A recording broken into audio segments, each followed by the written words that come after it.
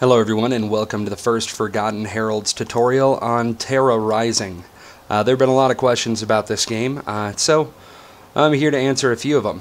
Uh, like you can see there's a whole bunch of uh, camera options. I tend to like to play it about right here.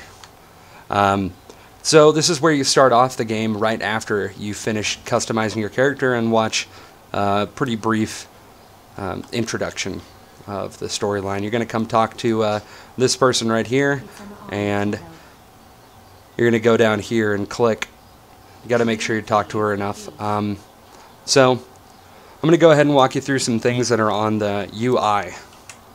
So you press escape, and you're able to move everything. The UI is completely customizable.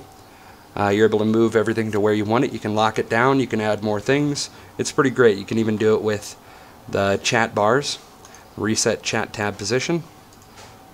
It's pretty good. Um, so with that in mind, I play with a controller, and you're able to play with a controller as well. It's pretty simple. Just plug it in, plug and play. Uh, Tera Rising is free to play. Uh, all the entire game, as far as I know, is free to play.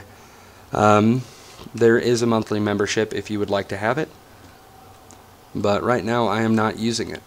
So I'm going to go over some important things. Uh, when you do press escape, you'll see down here, this bar that I'm moving around right now, is uh, your actions bar. So you'll go to profile, it's got skills, quest log, inventory, map menu, activities menu, social menu, uh, Valkyon outfitters, and systems menu. Now this is important because you need to learn the, uh, the hotkeys. And this will tell you right here. So it says profile P, skills K, on and on. So you can use that, and if you just created your account, go ahead and go to Valkyon Outfitters and go to Item Claim. And over here on One Use Items or Account Items, you'll have to click the tabs through. There will be um, gifts from Tera. One of them will be a mount. You're going to have to click it and claim it, and then you're going to have to go to your inventory, which uh, the hotkey is I, and you're going to have to uh, activate them by right clicking on them. And you'll get that mount by pressing K and going to writing skills after you've done it. Take this mount. You see I've pulled it. And you can put it anywhere you want on your toolbar. There's plenty of toolbars. Um, so that's great.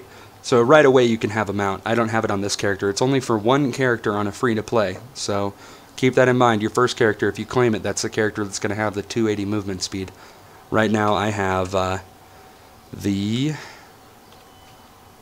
level 11 horse, which is a 240 movement speed, so quite a bit slower than the one that you can get from the gift from the game. I have that on my other character. This is my lowest level character. Uh, at level 11, as you can see, this character is. That's when you get the um, the mount mission. It'll have you go to a place to get your first mount. That's the one that I have. Um, so as you play through the game, there's a lot of things that you need to recognize. Uh, up at the top right, you'll see you've got a mini map, which will show pretty important items. And then you've got your other map that I'm moving around right here, and it shows a more detailed uh, variation of that map and where to go and what to do. You'll see asterisks in red or question marks in red. Those are needed to do to complete uh, story-wide missions. Uh, you'll see this little thing. Looks like uh, a Diamond with wings, that's the flight manager that'll get you from city to city, but you're not going to be able to do that until you've got the mission to leave this area. Uh, all in all, this is a pretty simple um, UI. Uh, it can take some getting used to because you're able to move everything around, and once you start joining PvP matches, then it starts to get a little confusing, and you're going to need to take some time to really customize your UI. Um, other than that, the main thing that you need to recognize about this game is that the, in the skills menu, you're going to continuously gain more skills. But the only way to do that is going to your uh, perspective manager. So this, uh, this character is a slayer, so I need to go to a tactics manager. So the game at this point will have you walk through here. Um, if you don't have a mount, you're going to be walking. It's going to be pretty slow. And it's going to have you do some stuff in right next to this campfire. Um, campfires are going to restore your stamina which is important. You're going to need that. So uh, once you get here, it'll you, you're able to activate certain different items. There'll be scrolls. I don't really have any in my inventory right now. I used them in the last raid. But you're able to do that, and it'll put buffs on your character, which is pretty great. They help out a lot.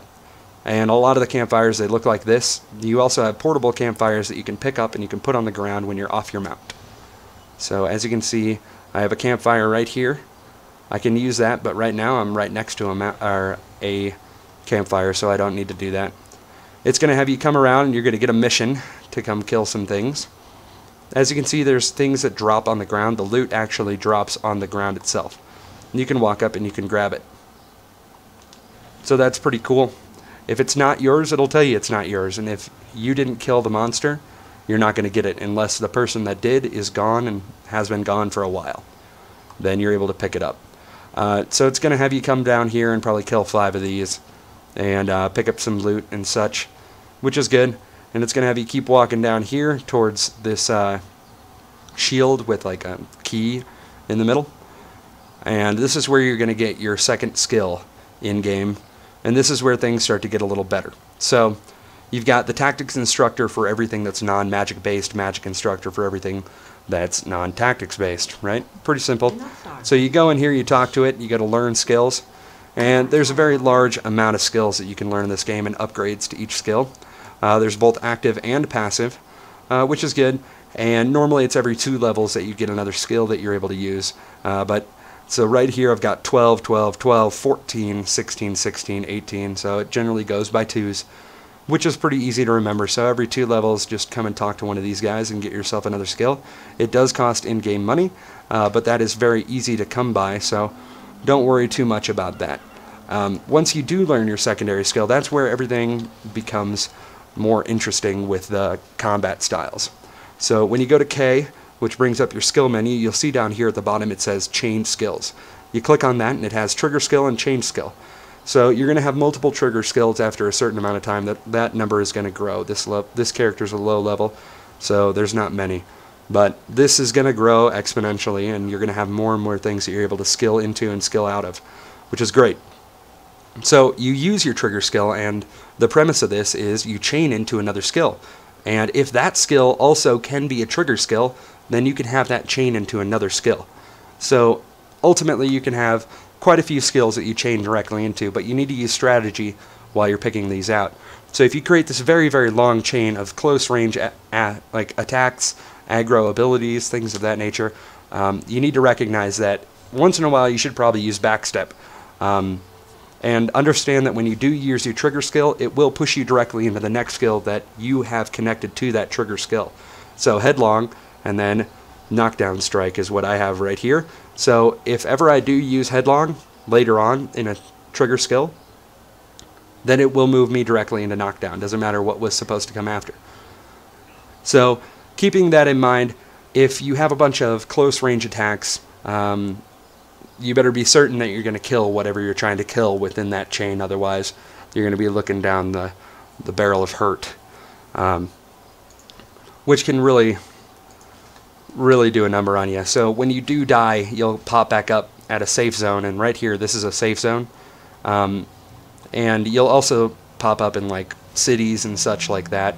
Uh, you need to go find the nearest uh, rejuvenation character and talk to them and purchase full rejuvenation to get your HP, MP, and stamina all the way back up. Because with your stamina at zero, it makes things a lot harder. Uh, while you're fighting, you really need to pick up these rejuvenation motes. Uh, they're going to rejuvenate your health constantly, and it goes to a certain point in time, so that's it's not all-encompassing. So you're going to have to keep doing it.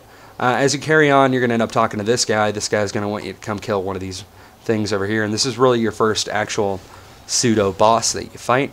And uh, he's relatively easy, he drops a good amount of stuff, so be sure to pick up the stuff that he does drop.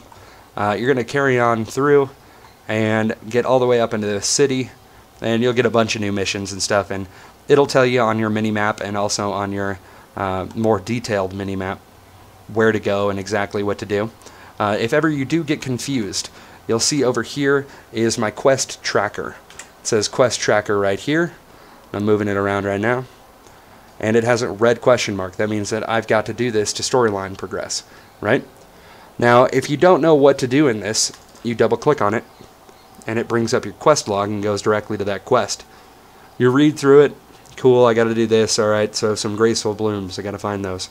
And then I gotta take them to this blue underlined character. You double click on that and it'll show you on a bigger map exactly where they are located. So you're gonna have to get there to finish that mission, which is very good.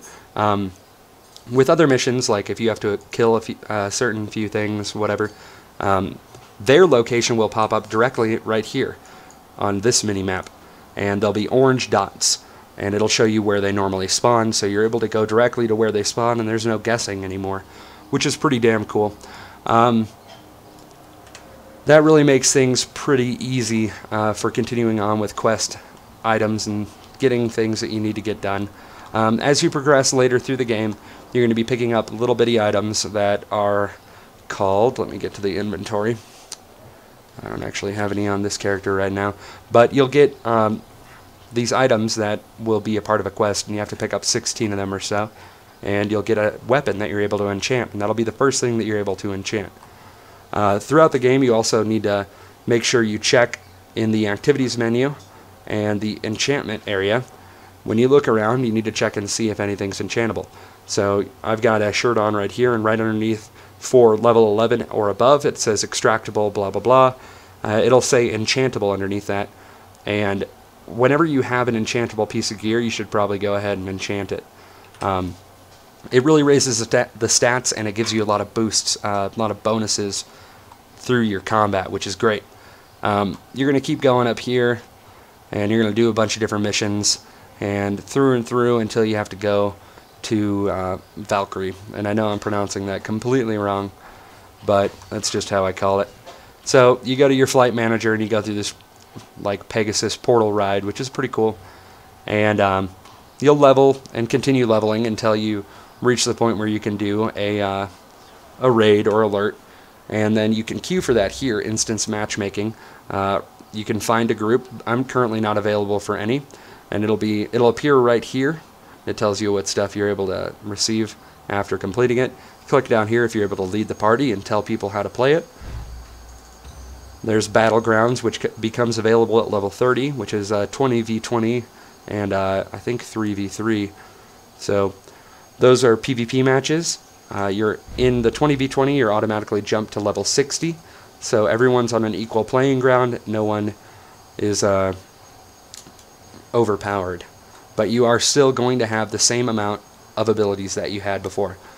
Um, over here in item claim, uh, actually not item claim, sorry, in your inbox, it'll tell you underneath here, like, hey, you've got uh, items pending, and you're only able to pick those up from the bank. Uh, so you have to go there and you have to pick them up from the bank, and it'll be pretty easy. It's called Parcel Post. You click on that, and you're able to pick up the items that people send you. Um, really, that's uh, that's the basic guide in the beginning of how to uh, how to do well. If you guys have any questions or any concerns, any things that I did not bring up, please let me know. I'll be glad to help. And uh, thanks again for watching. Please subscribe below.